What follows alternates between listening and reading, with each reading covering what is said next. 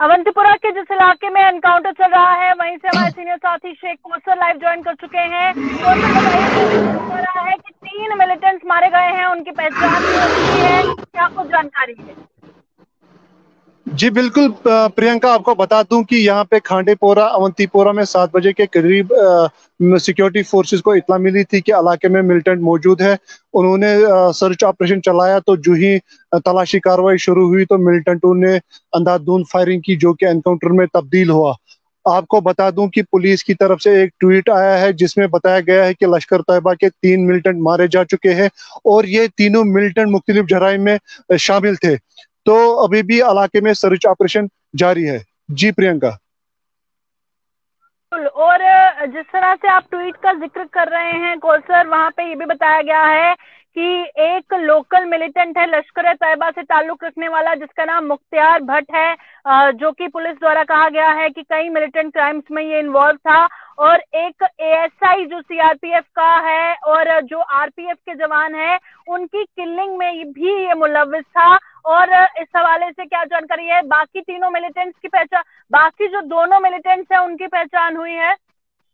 जी, बिल्कुल, प्रियंका, जो ये ट्वीट आया था, इसमें बताया गया कि एक फॉरनर है और एक लोकल मिलिटेंट मुख्तार, जो तीसरा है, उसका अभी पता नहीं चल पा रहा है, लेकिन ये भी एक ट्वीट आया था कि ये फिदाई अटैक के लिए आए इसने आज उसको नाकारा कर दिया। तो ये कहीं ना कहीं पुलिस की पुलिस के लिए बहुत बड़ी कामयाबी है। जी, प्रियंका।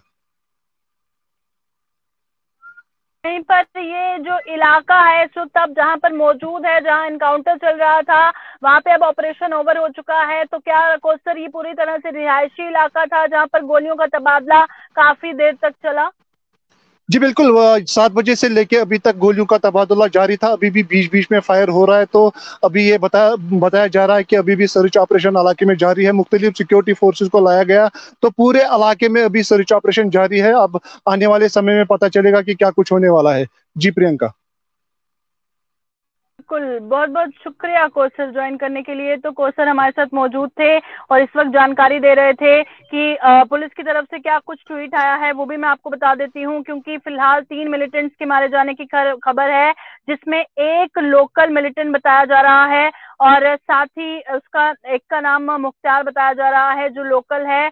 और साथ ही जो लेटेस्ट ट्वीट है पुलिस का इस हवाले से जो अवंतीपुरा में एनकाउंटर चल रहा था, उसमें यही बताया गया है कि लश्कर तैयबा का कमांडर मुख्तार भट्ट, तीन मिलिटेंट्स में से एक है। लश्कर तैयबा का कमांडर मुख्तार भट्ट और वहीं पर ये भी बताया जा रहा है कि जो सिक्योरिटी फोर्सेस के कैंप पे फिदाइन अटैक किया गया था, उसमें ये मुलविस था एक ए के फोर्टी सेवन राइफल एक ए के फिफ्टी सिक्स राइफल और एक पिस्टल जो है, वो रिकवर किया गया है और एडीजीपी कश्मीर की तरफ़ से ये ट्वीट कर जानकारी दी गई है और मुख्तियार भट्ट नाम बताया जा रहा है, जो लश्कर तैयबा का कमांडर है और वहाँ का लोकल ही बताया जा रहा है, बाकी दो फॉरनर मिलिटेंट्स बताए जा रहे हैं। फ़िलहाल ऑपरेशन खत्म हो चुका है एनकाउंटर खत्म हो चुका है और इस हवाले से इतना ही देखते रहे ज़िक्र पॉइंट